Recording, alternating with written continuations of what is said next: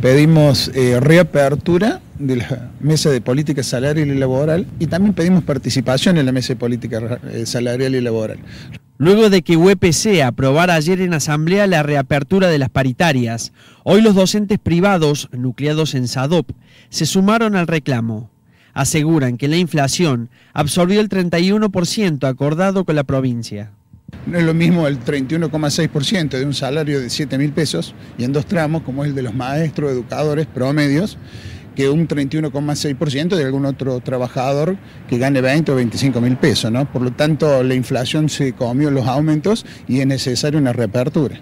Ya pensando en el 2015, desde el SADOP dicen que los colegios privados prevén un aumento en las matrículas que van de un 25 a un 40%, porcentaje que desmienten desde el Consejo de Educación Católica.